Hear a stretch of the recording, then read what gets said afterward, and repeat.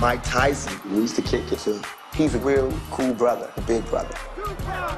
The only difference in me and Mike is that he's big and I'm small, but I got the same heart he got. You know what I'm saying? It's like I want to knock everybody out.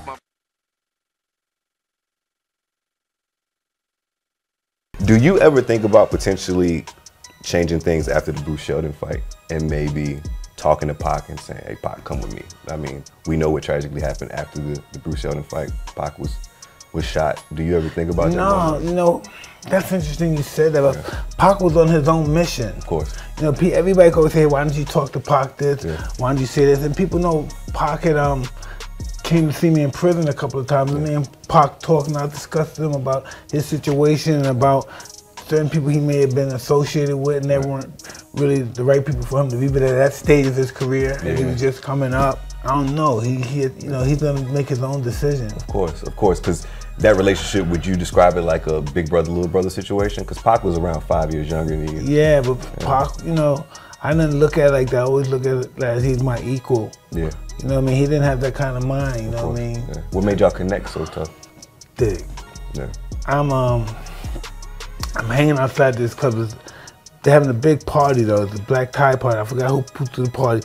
But it was me and my friend. Mm -hmm. It was an after party from one of those award show, yeah. and and I was I was upset because I didn't win an award, right. and my friends were upset because they had, um, they paid some money to get fined, you know, to be sponsored, to be seen. Right. The people didn't find the show them. the people didn't um, show the um, advertisement. Yeah. So we're all crying, we're mad. and then this little kid comes looking around. I said, "What's up, shorty?" And they I said, you want to come to the club? He yeah. said, yeah. And so he said, one minute. He went away and came back with like 50 people.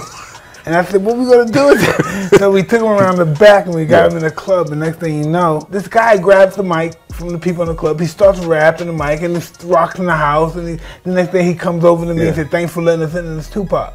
And it's a crew. Tupac was a part of the crew. That's incredible. That came in. And he remembered that, and then he wrote me a letter over the pretty. He said, "You yeah. may not know me, but my name is such and such, right. and I'm who and who, and you let me in the club yeah. one day, and this and that." Yeah. And, I'm, and I'm remembering this stuff vaguely, and I said, "Yeah, I remember you." Right. And so we became friends. Yeah, I- am glad you and Mike are talking, man. Uh, can you oh, talk anything to them about that? Well, um, Tyson had been calling me from from the before all the trouble. He was calling me just to say, you know, I wish I was out while you was out. You know what I'm saying? it's like I heard how you, I heard you party, man. I want to be out there partying with you. Was giving me a lot of advice. You know, I really look look up to him something horrible. You know what I'm saying? So for him to tell me to calm down, I was like, ooh, it's time to calm down. If Mike Tyson is telling me that he heard about me from jail, yeah. calm down. I'm like, calm down. You know what I'm saying? Yeah. It's like when, when you get like drunks coming to you going, look, man, take it easy. it's like, man. so, yeah.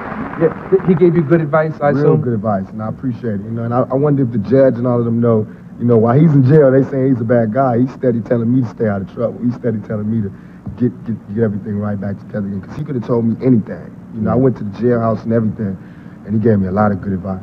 I appreciate it.